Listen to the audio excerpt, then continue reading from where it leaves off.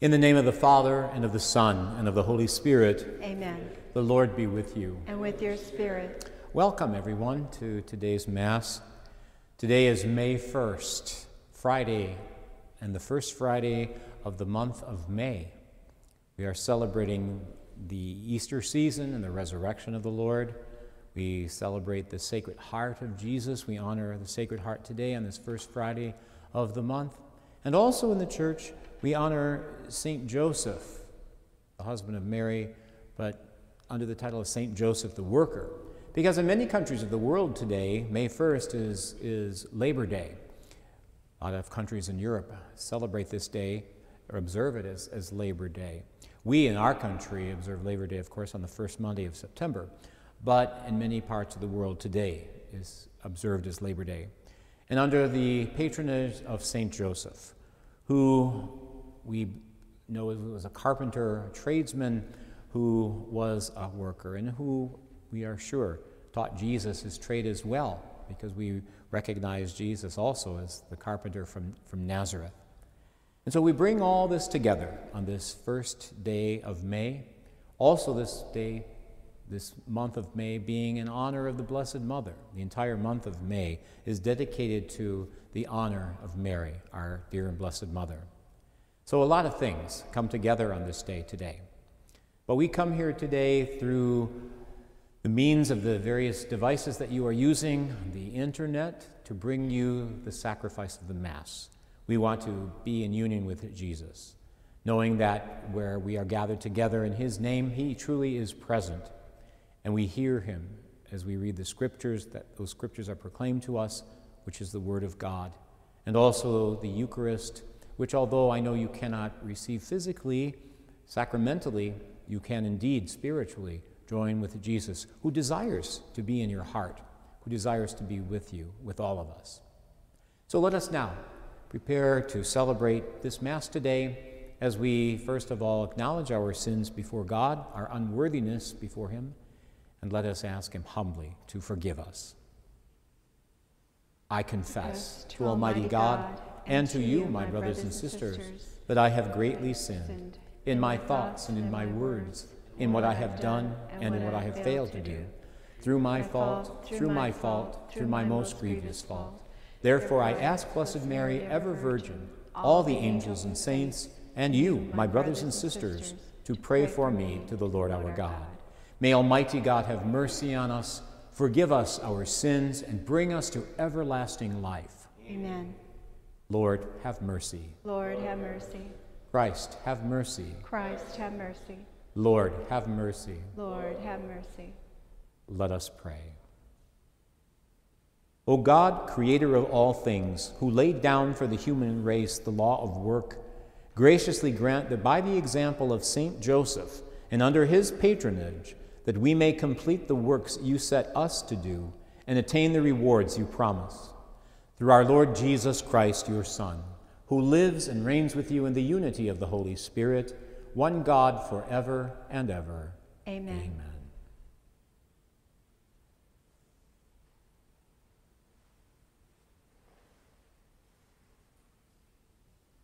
A reading from the Acts of the Apostles. Saul, still breathing murderous threats against the disciples of the Lord, went to the high priest and asked him for letters to the synagogues in Damascus, that if he should find any men or women who belonged to the way, he might bring them back to Jerusalem in chains. On his journey, as he was nearing Damascus, a light from the sky suddenly flashed around him. He fell to the ground and heard a voice saying to him, Saul, Saul, why are you persecuting me? He said, Who are you, sir? The reply came, I am Jesus, whom you are persecuting. Now get up and go into the city, and you will be told what you must do. The men who were traveling with him stood speechless, for they heard the voice, but could see no one. Saul got up from the ground, but when he opened his eyes, he could see nothing. So they led him by the hand and brought him to Damascus. For three days he was, he was unable to see, and he neither ate or drank. There was a disciple in Damascus named Ananias, and the Lord said to him in a vision, Ananias. He answered, Here I am, Lord. The Lord said to him, Get up and go to the street called Straight, and ask at the house of Judas for a man from Tarsus named Saul. He is there praying, and in a vision he has seen a man named Ananias come in and lay his hands on him, that he may regain his sight. But Ananias replied, Lord, I have heard from many sources about this man, what evil things he has done to your body, to your holy ones in Jerusalem. And here he has authority from the chief priests to imprison all who call upon your name. But the Lord said to him, Go, for this man is a chosen instrument of mine, to carry my name before Gentiles, kings, and children of Israel, and I will show him what he will have to suffer for my name. So Ananias went and entered the house. Laying his hands on him, he said, Saul, my brother, the Lord has sent me, Jesus, who appeared to you on the way by which you came, that you may regain your sight and be filled with the Holy Spirit. Immediately, things like scales fell from his eyes, and he regained his sight. He got up and was baptized, and when he had eaten, he recovered his strength. He stayed some days with the disciples in Damascus and he began at once to proclaim Jesus in the synagogues, that he is the Son of God. The word of the Lord. Thanks be to God. Go out to all the world and tell the good news. Go, Go out, out, to, to all, all, the world and, tell, tell, the, good, news. news. Praise the Lord, all you nations. Glorify him, all you peoples. Go, Go out, out, to all, all the world, world and, and tell, tell the good news. news. For steadfast is his kindness towards us, and the fidelity of the Lord endures forever. Go, Go out, out to all, all the world, world and, and tell the good news. Alleluia, Alleluia, Alleluia, Alleluia, Alleluia, Alleluia. Whoever eats my flesh, drinks my blood, remains in me, and I in him, says the Lord. Alleluia, Alleluia, Alleluia. The Lord be with you. With your spirit. A reading from the Holy Gospel according to St. John. Glory to you, O Lord. The Jews quarreled among themselves, saying, How can this man give us his flesh to eat? Jesus said to them, Amen. Amen, I say to you, unless you eat the flesh of the Son of Man and drink his blood, you do not have life within you. Whoever eats my flesh and drinks my blood has eternal life, and I will raise him on the last day. For my flesh is true food and my blood is true drink. Whoever eats my flesh and drinks my blood remains in me, and I in him. Just as the living Father sent me, and I have life because of the Father, so also the one who feeds on me will have life because of me. This is the bread that came down from heaven, unlike your ancestors who ate and still died. Whoever eats this bread will live forever. These things Jesus said while teaching in the synagogue in Capernaum. The Gospel of the Lord. Praise to you, Lord Jesus Christ. There are a lot of things today that we are, are observing and celebrating, those that I mentioned at the beginning of Mass. And the scriptures today are filled with uh, so much they are, our first reading, for instance, from the Acts of the Apostles, talks about the conversion of St. Paul. he was a great enemy of Christianity. And anybody who proclaimed Christ, he hated them, really hated them. And in fact, he was going down to Damascus, as the Acts of the Apostles tells us, to go and throw into prison and bring to trial those who proclaimed Jesus as the Messiah. But as he was going to Damascus, Paul had this, whose name was Saul still, had this great incident happen, a conversion that took place in his life, where he was thrown from his horse and he was blinded by the light. And he heard a voice that spoke to him Saul, Saul, why do you persecute me? And when he asked, Well, who, who are you? And the voice came to him, I am Jesus, the one you are persecuting. Paul was instantly converted at that time. And he went to Damascus. And he reflected on all that happened, even though he was blinded for a short time. And Ananias came to him, called by God to tell him that he had been chosen by God Himself to proclaim Jesus as the Messiah. A little bit ironic. And we see how God uses very unlikely candidates, unlikely people, to do His work. But God, in His infinite wisdom, knows that when He chooses people that we see unfit or people that we, we wouldn't choose, that it couldn't possibly be their work but that it is God who works through them. And even Ananias was afraid to, to approach Paul because he was such an enemy of Christians that he was said, Lord, this man was persecuting us. The Lord told him, I have chosen, chosen this man to bring the message of the gospel to the Gentiles and all those beyond Israel. And Paul indeed became the great apostle who indeed brought the message of the gospel to many lands. And in fact, much of the, the New Testament of the Bible is, is made up of the letters that he wrote to the various communities, the Christian communities that he founded.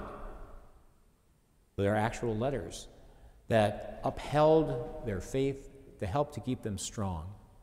And it is thanks to St. Paul that we know much about the early developments of the church.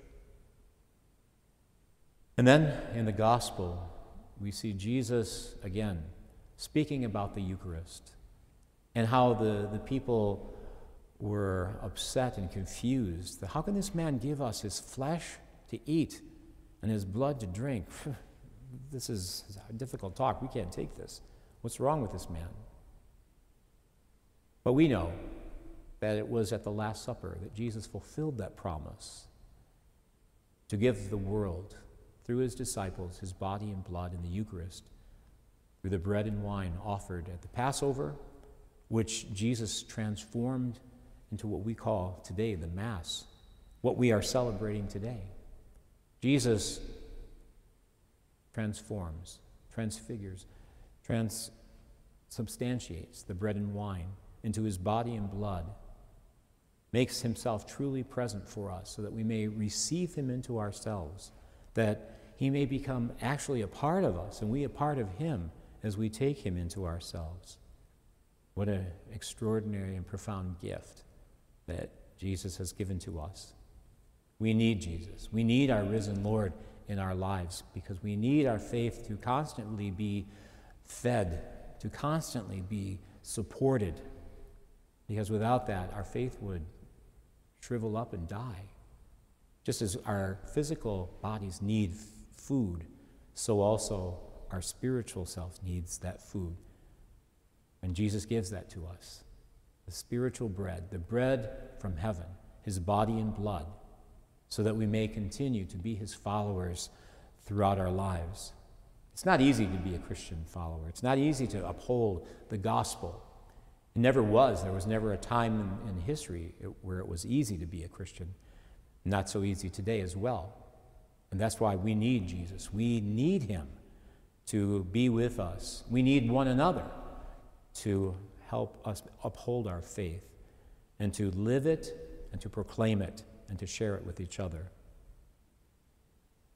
We pray that that day will come soon when we will be able to return to our churches, that we can come together in community, as community of faith, to share our faith with each other and to be nourished by the bread from heaven, the bread of life, which is Jesus Himself, who comes to us in the Eucharist, in our Holy Communion with Him. We pray that God will help us to reach that day soon. May God bless all of you as you struggle through this time. But know that even though you cannot receive Jesus physically and sacramentally in Holy Communion with Him, you indeed can receive Him spiritually because Jesus wants to be a part of your life. He wants to be with you as He does with all of us, and He wants us to be with Him. Let us be grateful that God so, so loved the world that He gave us His only Son, that even though He suffered and died because He loved us so much, even though we rejected Him, He rose and He is alive, and He is with us now and always will be till the end of time, as He said. Please join with me now in the prayers that we offer today for our various intentions. Just as we know the voice of the Good Shepherd, we trust that God's knows our voices and responds our, to our prayers as we gather together our needs and the needs of the world.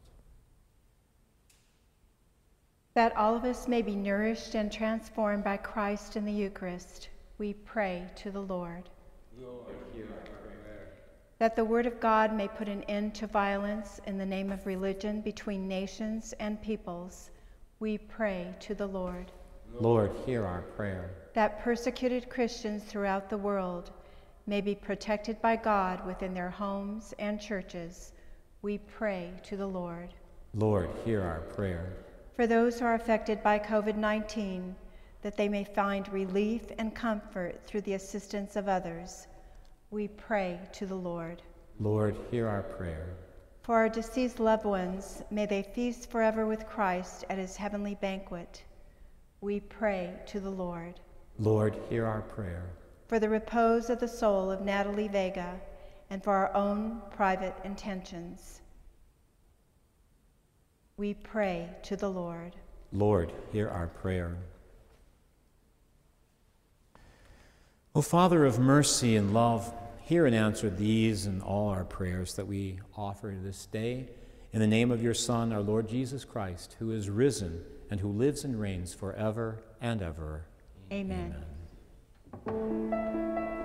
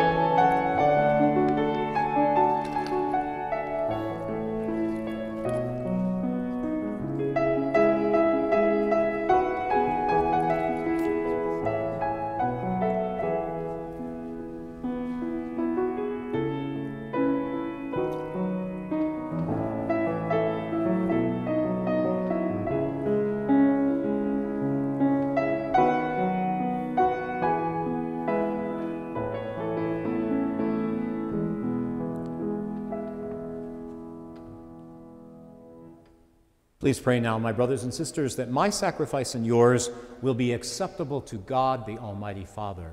May the Lord accept the sacrifice at your hands for the praise and glory of his name, for our good and the good of all his holy church.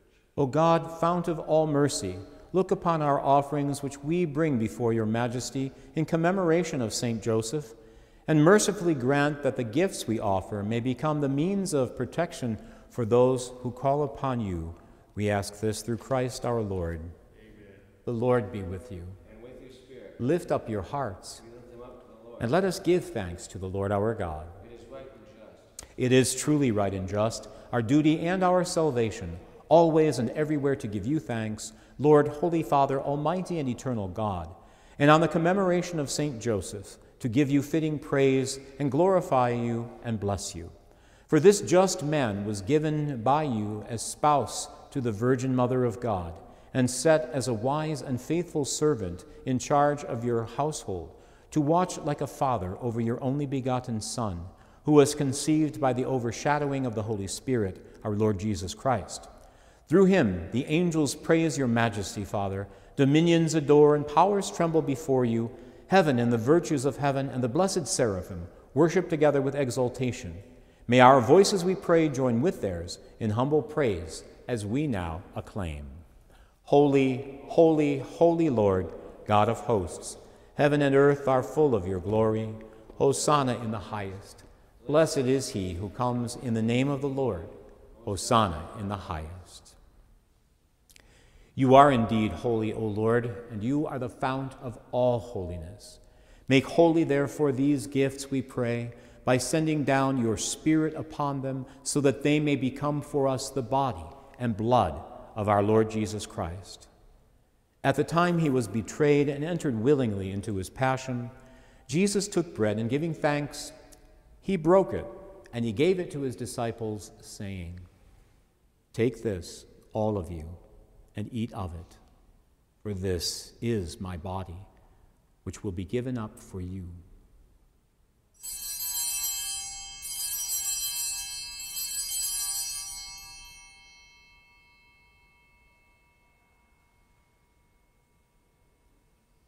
In a similar way, when supper was ended, Jesus took the chalice, and once more giving thanks, he gave it to his disciples, saying, Take this all of you, and drink from it.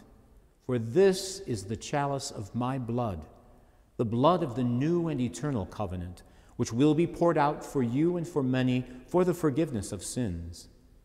Do this in memory of me.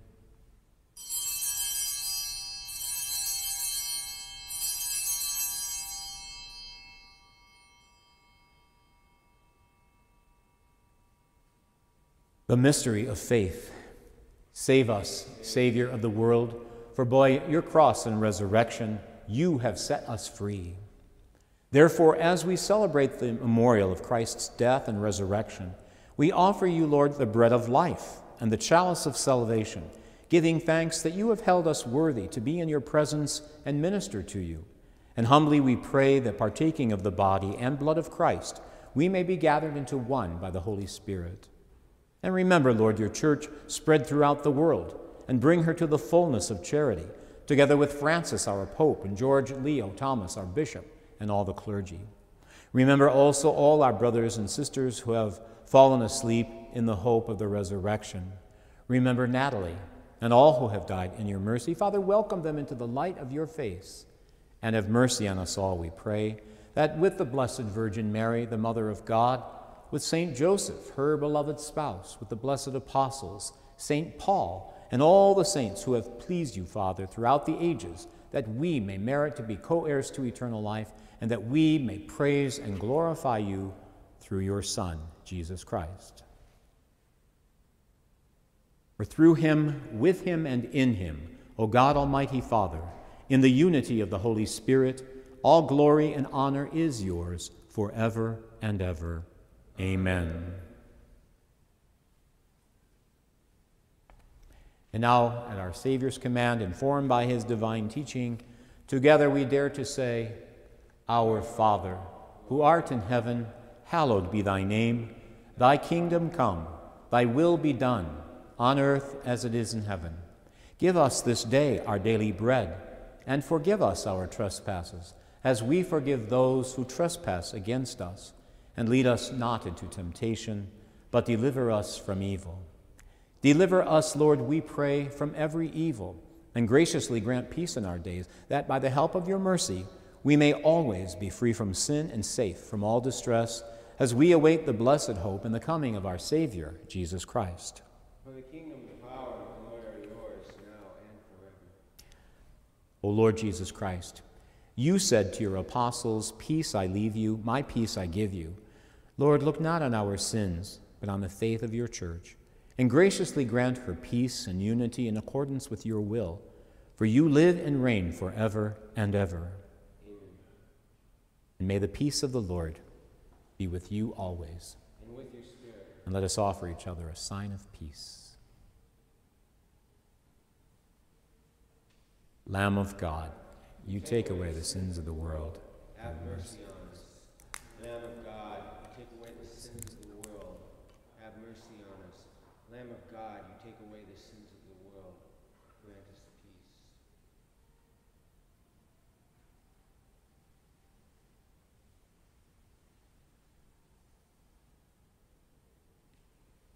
Behold the Lamb of God. Behold him who takes away the sins of the world.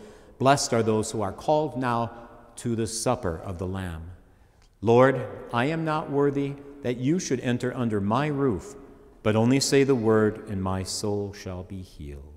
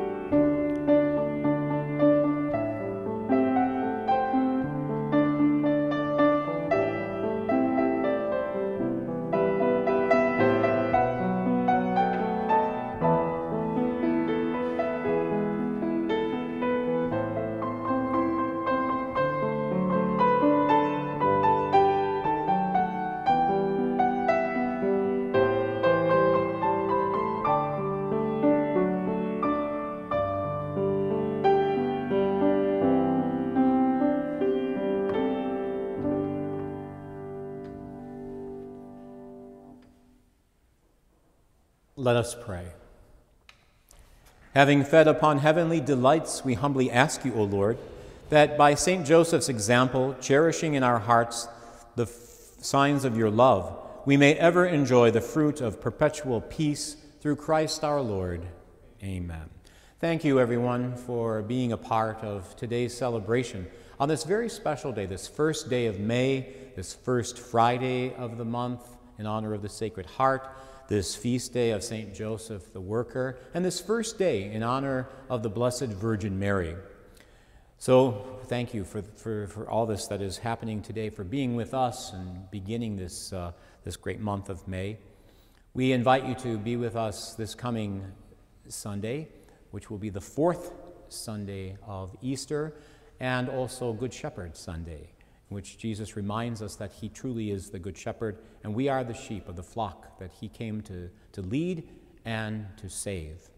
I greet everyone who is, who is watching us today, those of you who are from our parish of Our Lady of Las Vegas, and also those, you know, my family in, in Michigan and friends in, in, in Illinois and uh, Ohio, New Jersey, uh, North Dakota, and uh, various places. Thank you so very much for being with us, and I hope that you are spiritually uplifted uh, as you join us in this prayer and that we come together with Christ in this Eucharist.